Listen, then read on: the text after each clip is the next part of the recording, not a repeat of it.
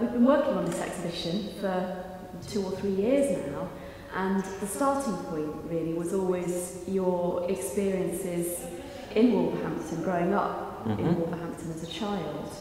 Could you tell me something about that and how that informed what the exhibition came to be? Mm, yeah, I grew up here. It's my hometown. And um, over the years that we've, you and I have been talking about making this exhibition here, I've naturally been reflecting on the influences that uh, affected me uh, in my childhood and, and youth.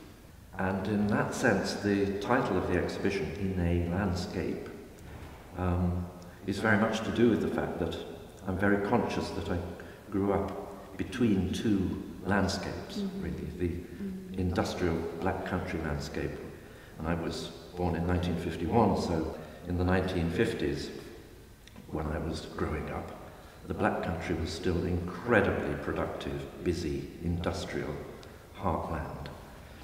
Uh, and then on the other hand, I was uh, equally close to, to rural Staffordshire, as it was known then.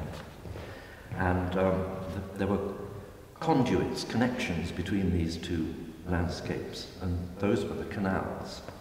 And so walking the canals in one direction took me into deep into countryside, and going in the other direction took me into the middle of this uh, heavy industry.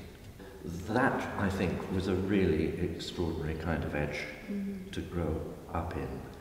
And I think at the same time, I just paint a little picture of the heart of, the, of Wolverhampton as it was then, which um, felt very much like a, a, market town rather than an industrial city. Of course, it was both, mm-hmm. but when the retail and wholesale markets were in the heart of, of the town, right next to St. Peter's Church, um, it gave a, a very strong sense of connection to agriculture and, and to the rural economy as well as the industrial one. So those uh, influences, I think, have persisted a great deal, and um, and some of the new work that I've made for the yeah. exhibition touches on on those uh, elements. Yeah. And I think also the collections here were a starting point, weren't they, for the discussions that we were having about the new work that you were going to make and um, maybe you could say something about the collections that inspired you here, mm. but also about your memories of, of the gallery as it was, because presumably it was an influence on you when you was, you yes. was an art student. Yeah, absolutely. Yes, the gallery as it was was a very different place to the gallery as it is today. You know, the, these fantastic modern rooms that we're sitting in and that I'm privileged to be able to make the exhibition in of course, were not here. Um, large part of the extension to the art gallery uh, was a part of the art college at the time. And, um, and of course, the collections were in a very, very different kind of state in the early 60s mm-hmm. to what has blossomed really mm-hmm. since, since then. And I think I could probably sum it up by saying that, that um, when I was at school, for example, and I knew that I wanted to go to art school. And I was trying to look at art. I would come into Wolverhampton Art Gallery, and there were a great many um, 19th century rural views, um, genre paintings really. And, um, and while there were a small number of very strong paintings in the collection at that time, historical works, there were a large number of these. and I do remember standing in front of them and not being moved, mm-hmm. not being stirred or having any kind of sense of connection to the, this particular genre of painting and thinking, why isn't something happening? You know, these are paintings.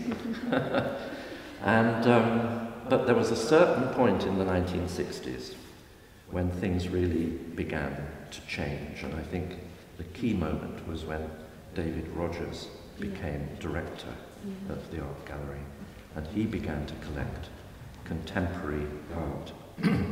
and I'd never seen Bridget Riley, I'd never seen Richard Hamilton or Joe Tilson. And one day I came into the art gallery and he was this completely different experience. And of course, as, as, as many know nationally and internationally now, that was the, the beginnings of, of, of the now famous Wolverhampton Pop Art Mhm. collection. Yeah. So it's a very different, um, a very different place, and the dynamic is fantastic Yeah. Now, and, and, Yeah. really generates a, a lot of energy. Yeah, that's certainly something that it's an important part of the narrative of the history of the gallery and, you know, something that Mm. we're all well aware of the importance that David Rogers made in developing the collection. Just starting, I suppose, sowing the seeds to what it's become now. Well, I think that's true. And then at the, at the same time, uh, well, sort of overlapping, this fantastic contemporary sculpture arrived in the middle of Wolverhampton. oh yes, that was 1968, I think. 68. In, and that's in the, in the shape of the wonderful Barbara Hepworth Mm. sculpture that was in the Mander Centre, Mhm. and as we speak, it's now installed downstairs Yeah, in Wolverhampton Art Gallery. yeah. And I remember very well, who could forget if you were around at the time, the arrival of this um, ph- phenomenal sculpture in the middle of town. Mhm. One of the things I think that comes out of these reminiscences is the fact that um, that, that Barbara Hepworth sculpture um, has a lot of things in common physically with another monumental object in town.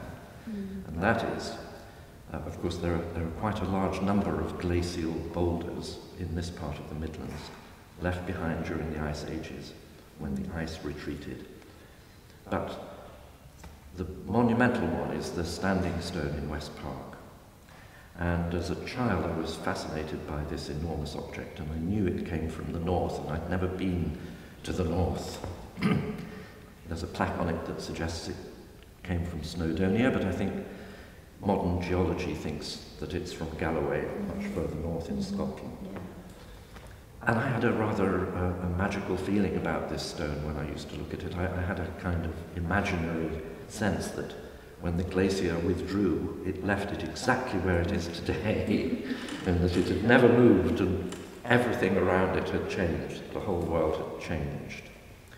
But uh, of course, that was just in my imagination. But it was only recently, as we've been developing this exhibition, that I really um, recognized that this stone is almost exactly the same height as the Barbara Hepworth sculpture. Mhm. And the Hepworth sculpture is called Rock Form, Porthcurno in, in West Cornwall. And here in West Park is another rock form with a very similar patina, very similar proportions. And what interests me about this, and I hope it, that this comes through in aspects of the exhibition, I'd like to draw attention to this, is making connections between different things that don't seem to have anything in common. And so in West Park is this monumental boulder which was brought incredibly slowly from the far north, what is now Scotland, and deposited here in the Midlands. And millennia later, an, an object, the sculpture by Barbara Hepworth, with so many physical things in common, also travels here, not from the north, but the far west in Cornwall, and it ends up a short walk from a, a stone that's been here for thousands and thousands of years. This aspect of travelling, I think, connects with other things in the exhibition, and principally these um, are to be seen in a, in a showcase next to the exhibition, uh, are a group of extraordinarily beautiful Neolithic stone axes, axe heads. The thing that's very interesting about these axe heads is that the likelihood is that they were cut from jadeite stone, this incredibly hard stone, very, very high up. It's a site located by modern ge- geologists and historians, very high up in the Italian Alps. And similar axe heads can be found all over what is now Europe and in numerous parts of what is of Britain. Um, They were highly valued. They took immense amount of time to make because the stone is so hard. And modern archaeology really agrees that objects like these were not made to chop down trees. They were made as extremely refined and beautiful objects. And, um, and so exchanged as objects of value uh, across uh, Europe. And, um, and the examples that belong here in the, in the collections of Wolverhampton Art Gallery are exquisite. Mm. And so the works that I have made from these objects that are small enough to hold in the palm of your hand I've made some very large, very highly detailed photographic images of them because what I wanted to really look at were the surfaces, these beautiful surfaces. And I have to admit I had a very uncanny feeling making these very big prints, looking meticulously at these surfaces, and I realized that, that in the Neolithic era, possibly at 4000 BC or earlier, that the makers of these stones had them, their eyes had concentrated on these stone surfaces in polishing them and, mm-hmm. and making them. And, uh, and here we are now able to, to cast our own eyes on these, uh, yeah. uh, on these yeah. things. It's a powerful thought. yes, it is, yes, I think so. Um, just to step back a bit, I think it's always interesting for us when we work with artists with the collections because you never quite know what you know what the artist is going to be interested in, and sometimes it's not an obvious thing that has resonance with their work. Mm -hmm. um, and, and obviously, you chose to work a lot with our industrial collections mm. and uh, local history. When you came to look at the collection, did you have anything in your mind about the sort of objects, or were you coming with a completely, you know, clear approach to what, you know, what sort of things you might be looking at? I'm not sure I had a clear idea, did I? Can you remember? no, I, am no, not sure I had a process of, you know, you, you yeah. looked at some of the collections in stores and some of the collections that we had on, you know, available digitally and yes but I yes. remember very quickly you sort of focused in you seemed to know almost what you were looking for. You you focused in quite quickly on things yeah. um, that obviously you know did have an impact. Well that's true. I'm not sure I knew in advance but sometimes you know when you see something you know that's what, what you were searching for even though you couldn't have named it. Yeah before. And the, the, the Neolithic axe heads are an example. I can remember us looking up and seeing an archive box and written on the side of the boxes, that's what it said. Yeah. And I said, wow, let's have a look at those. And of course it's great that you chose to work with that collection because it is one that, you know, we haven't shown very much here. Well, I, I'm very privileged to be able to have worked with these things. I mean, something that I, I didn't know was here, of course, uh, but we've included it uh, within the exhibition itself, is, uh, I think, a very moving, emotionally moving uh, piece of steel. yeah. And it's called, I think, in the collection, the, the last pour of the Elizabeth furnace, Bilston. Mm-hmm. This object which uh, consists literally of blobs of, of steel mm. that have cooled down on top of each other in a totally abstract, irregular way, are literally the last droplets of steel that was emptied out of this vast uh, furnace before it was decommissioned and closed down. That was one of many great furnaces that, that, suffered, that came to, to that sort of end here in, in the Midlands. And, uh, and of course, as we speak. It's a very live debate right now in contemporary Britain, in the South Wales, with the future of, of steel production there in the balance. And so I do find this object very moving because it's a modest thing in, in its, in its way. Um, but the thought that these were the last droplets to, to fall from this great furnace is, um, makes it, I think, a very highly charged uh, object. Yeah.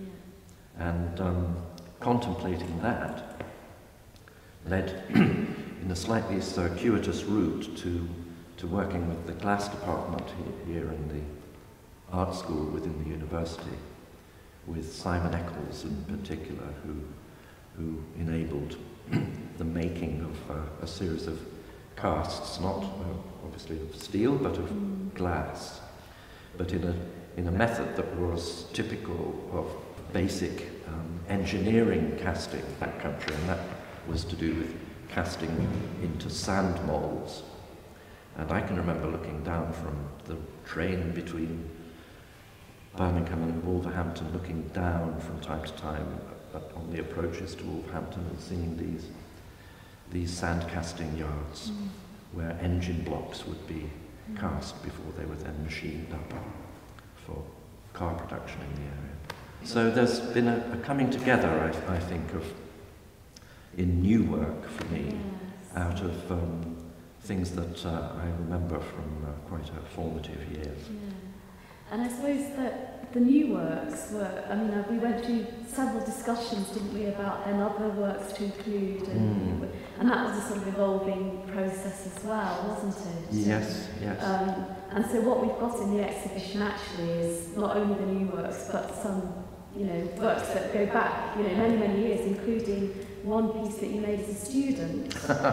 so, um, so, you know, I'm interested to know a bit more about, you know, how you arrived at some of those decisions about other works to include and just Yes. sort of what felt right Yes. alongside this, these new works. That's a very important question to ask, really. A key moment for me in, in the conversation you and I have had about the formation of the exhibition, a key moment came um, when I heard a piece of music on the on the radio one morning. I turned on the radio. We've all done this, and there's a piece of music playing, and you think, "Oh, what's that? I don't recognise that." Um, but this piece of music was a solo piano playing, and I just thought it was uh, a beautiful thing that I was listening to, and I found I'd stopped what I was doing and sat down and I paid a great deal of. I really listened to it. It just grabbed me, as they say. You know, it really just affected me. And I discovered at the end when the presenter explained that this was by the American composer John Cage, and he'd composed it in 1948 uh, at a marvelous uh, center of uh, creativity um, in South Carolina that was called Black Mountain College. And the title of this piece of music that I had been so affected by was In a Landscape.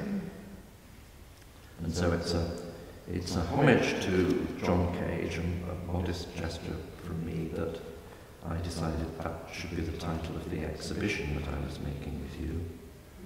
But it also, it, it clarified the theme for me. And I think probably I realized for the first time in a very long time that, that although I work in different media and there are very diverse things and collaborative things with dancers that I make and collaborating with other artists, that um, there is a thread to do with landscape. And that made me go back to looking at some very early things and thinking, well, where is the landscape in this? And uh, indeed, what, what you're mentioning is a tiny little photograph that I took as a foundation student at Wolverhampton Art College in 1968. and it's, it's what you might think um, was a very unpromising subject for a photograph. I remember completely that we were, in our little group, given college cameras and told to go out into the streets and take a roll of film, come back and learn to develop it. And this, the roll of film that I had, um, were all canal side pictures, and the only one that survived is, is it's a little corner of stagnant water with um, discarded bottles, a piece of wood, and clearly some oil floating on the surface, all visible in this black and white photograph. But I think something must have caught my eye, and I think probably what I would say was that what caught my eye was just the glint of light on these surfaces. And that for a moment there must have been a little moment of beauty in this stagnant corner. And um, so that's, that's the earliest work in the exhibition. Um, and following on from that, um, there are carefully selected works, I think, from, from different periods over the, the last 40, 45 years that in different ways touch on this uh, theme of landscape, which, which I'd say uh, to kind of come full circle in a way, um, isn't to do with me seeing landscape in the way that the 19th century genre painters did, that, that, that I saw exhibited here when I was um, at school. You know, in a way, a lot of those works you would say were, were views. They're, they're to do with the picturesque, they're to do with making compositions that you look at. Yeah. And I think nowadays we probably have a, a, a more engaged Yeah, sense of what a landscape is. It feels like it's a lot more to do with our physical relationship with the landscape. Exactly. And, you know, indeed there's works in the exhibition where you used your own body as part to create that landscape. Yes, that's right, that's right, where edges of the body might resemble or echo, not so much look like, but echo silhouettes or forms that might be within the landscape. But I think you're absolutely right about the, the physicality. I think in, in the modern world in particular now, we're much more aware of the landscape being something that we need to look after, to conserve. Uh, our environmental anxieties, I think, are very real and very widespread. And so I think now we're more used to understanding landscape as somewhere uh, we inhabit Yeah. rather than something that we look at that's um, over in the distance. And what do you hope people visiting the exhibition will take away from it? Ooh. Well, I, I don't know how to answer that question really. I think uh, I think that if there is um, a sense of of pleasure to be found, if there is a sense of connectedness with with place, um, but it's uh, it's not for me to say what I think the viewers should find. um, it, it's I, I hope that there, there's there are dimensions I hope in the exhibition that that take one not only to the to the Black Country industrial landscape that we started talking about. Yeah, I think that Um, sense of place is important actually about, you know, because this exhibition was made for Wolverhampton, wasn't it? And Yes, it's the first, that's true. First exhibition, first solo exhibition you had here. So. It is, it is. It's the first exhibition of any kind I've had in my hometown, and I'm really happy about about this. But the, it, it, the, the landscapes, I think, um, that are touched on range from the west of Cornwall, uh, a place that I'm very attached to, to the Orkney Islands, um, and to the rainforests of southern Venezuela, where there, there is some sound to be discovered in the exhibition, which, which I recorded um, on the banks of the Orinoco River in the rainforests of southern Venezuela in 1995. So I hope that if anything is conveyed, it's a notion of, of something extending out from this centre, um, as well as, as I've tried to imply, things arriving here in Wolverhampton. I think that's something important in, in, in the works. Mm. Coming and going, I think that's something you refer to. Coming and going, that's right. well, Yes. David, thank you very much. It's a pleasure, Marguerite. Thank you.